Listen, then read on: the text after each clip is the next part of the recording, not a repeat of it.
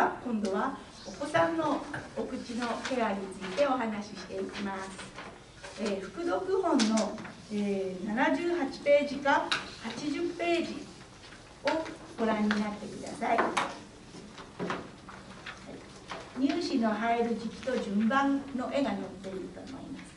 乳歯の目は妊娠7週目くらいにできるって言われています。そして生まれてからですね生後6ヶ月頃から、えー、下の真ん中の歯から順次放出してきます。3歳くらいまでには上下10本ずつ最終的には合計20本生えてきます。実際には歯の生える時期とか順番って個人差がすごくありますのでどうしても気になる場合は歯科医に相談してみましょう、えー、放出したばかりの歯は虫歯になりやすいんですっていうことが特徴です。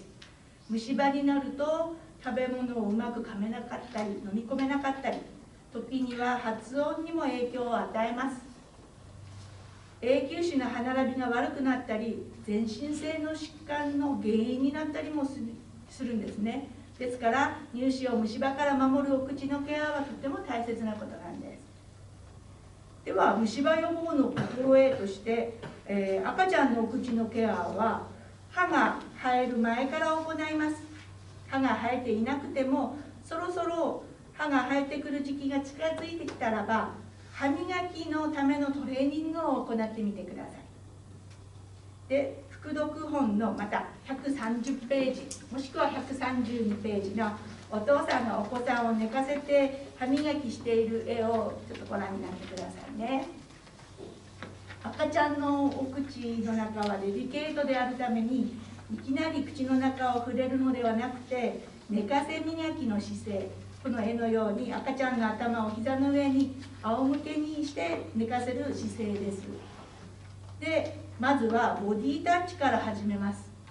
でお顔を触ったり口の周りという順に触れていってそれから清潔な指でお口の中を触れてみたりしてください。口の中にこう触れられる感覚というのを慣れてもらうということが目的です。そしてどんどん慣れてきましたら子供用の歯ブラシで磨く真似をしてみます。歯ブラシの刺激に慣れさせて歯磨きを好きにもなってもらうということがとても大切です。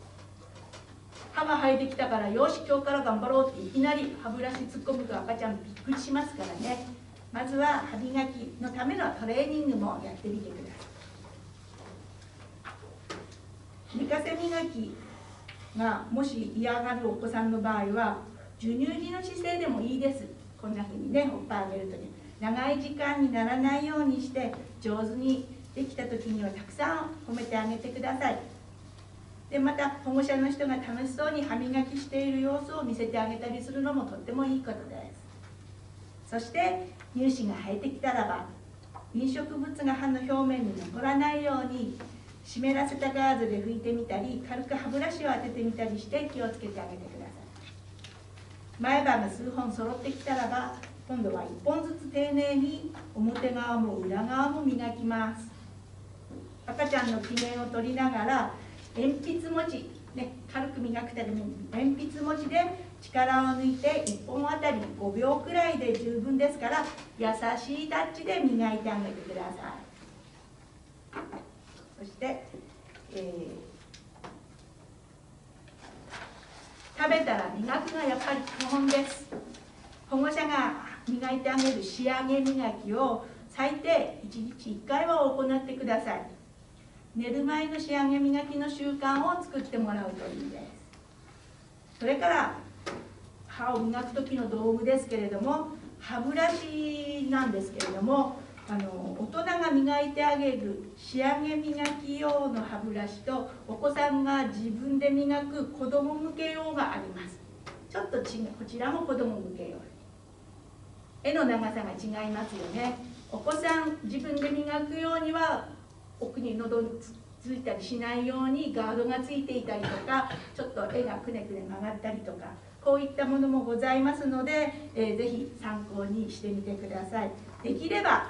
両方用意していただけるのがいいかなと思います。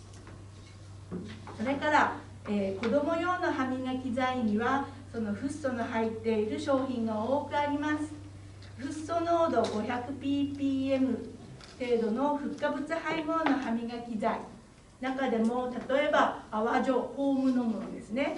フォーム状のもの。それから、えー、ジェル状のもの。私たち使うのは大概ペースト状のもの。もうちょっと柔らかいドロドロっとしたタイプのもの。泡立ったりしないタイプのものです。こういったものをごく少量です。まだうがいもできませんからね。ごく少量仕上げ磨きの歯ブラシの先っぽの方だいたい米粒程度を歯ブラシにつけて日常的に活用してもらうのはいいと思います。飲んでやっても中毒を起こす量では全くありませんのでね心配ありません。それからおやつは時間と量を決めてダラダラ鍋しないようにしましょう。ジュースや炭酸飲料はポーツドジュースとか炭酸飲料それからスポーツドリンクだったりイオン飲料だったりするのは糖分が多く入っているので歯の表面をどうしても溶かしやすいんですね。普段の水分補給はできればお水とか麦茶のような糖分が入っていないものを上手に活用してみてください。それから皆さんご存知でしたでしょうか？生まれたばかりの赤ちゃんのお口の中には虫歯の原因菌のミュータンス菌は存在しないんです。保護者などの口から唾液を通して感染するって言われています。したがって家族の口腔環境を改善することによって赤ちゃんの虫歯予防にもつながります。食べ物を靴しであげたりとかスプーンとか箸を共有しないようにしてみてください。また例えば双子ちゃんだったり兄弟間で歯ブラシを共有するということもないようにしましょう、はい、そんなわけでと人形を使って仕上げ磨きのコツをお話ししたいと思います。立っても大丈夫ですかね。座っていきますか？はい、えー、仕上げ磨きなんですけれどもみーちゃんです。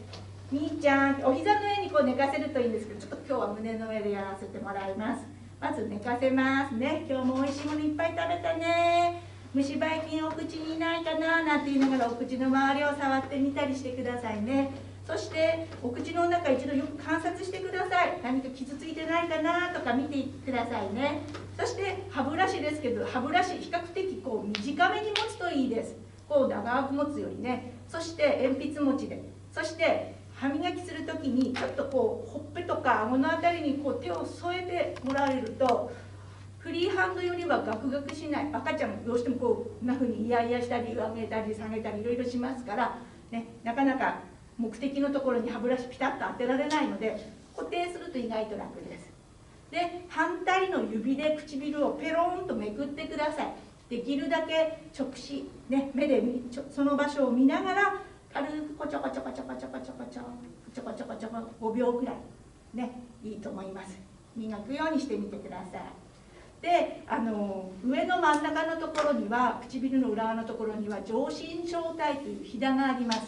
このひだに歯ブラシが当たったり強く当たったりすると痛くてね歯ブラシ見ただけでも口開けないお子さんになったりしますからそこのところは反対の指でよくガードして磨くように配慮をしてあげてください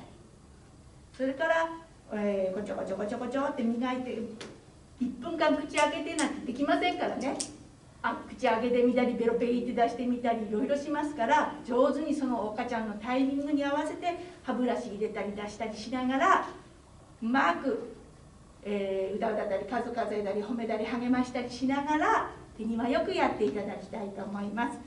で最後にやっぱり優しい声がけをしてください。ああよく頑張ったね。お口きれいになってよかったね。とかね。明日も美味しいもの食べようね。なんて言いながらできればね歯磨きって楽しいもんだなって思えるようなあの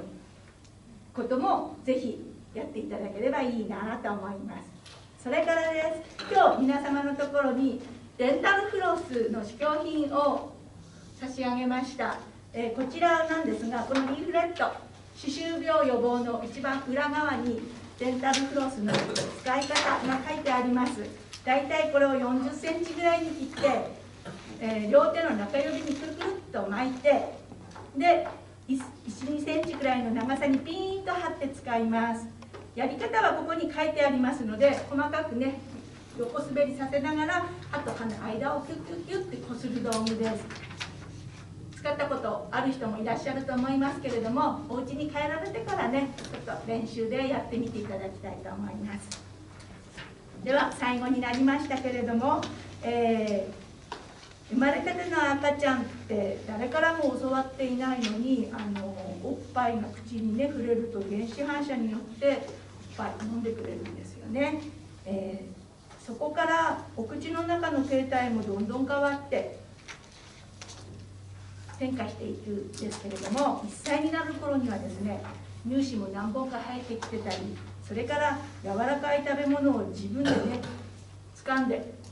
口に持ってって手づかみ食べをするようになったりとかそれから「まんまんま」とか「ブーブーブー」とかねそんな風な簡単な単語も話したりできるほど赤ちゃんのお口の機能って目まぐるしく発達するんですね。目覚ましい発達があります。お子さんの健やかな口腔機能の育成はお母さんのお腹の中にいる時から始まっているっていうことを先ほどお話ししました。まずはお母さんはじめ家族の皆さんが自身のお口のケアに気をつけて過ごしていただきたいと思います。そして元気な誕生したお子さんのお口の発達の様子を、えー、お料理によく観察していただいて成長の過程を存分に楽しみながらね健やかなお口づくりをしていただきたいなと思いますご清聴ありがとうございました